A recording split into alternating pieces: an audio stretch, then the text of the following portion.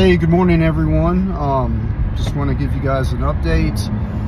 Um, I know there's been a bunch of comments on um, my uh, my video and um, probably Facebook too. I haven't had a chance to respond to, so I don't want uh, anybody freaking out.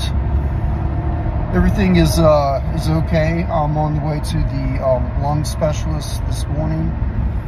Um, I haven't a chance to tell everyone or explain In it or whatever, miles, but take a slight left turn to merge onto I-77 I got some kind of blockage that was probably caused by the cancer treatment infusions, the chemo infusions, probably a side effect. Um, anyways, uh,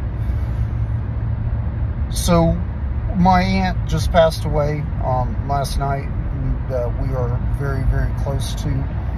Um, so I just want everyone to know everything's fine, but um, we're kind of dealing with a lot right now. So, um, you know, I am.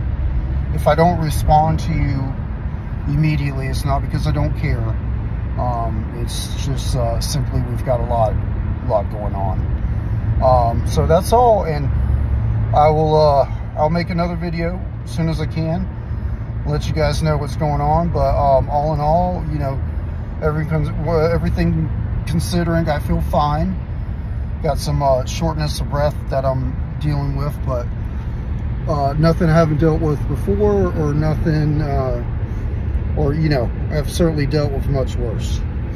So um, right now, we're just kind of focused on getting my mother to Brazil, and um, like to say uh, thank you to my brother-in-law um, for slight left turn to uh, lending us the money. Um, for my mother's ticket um, to Brazil, and uh, uh, Dede has uh, really, really come through. And um, that's it, guys. Uh, I will talk to you as soon as I can.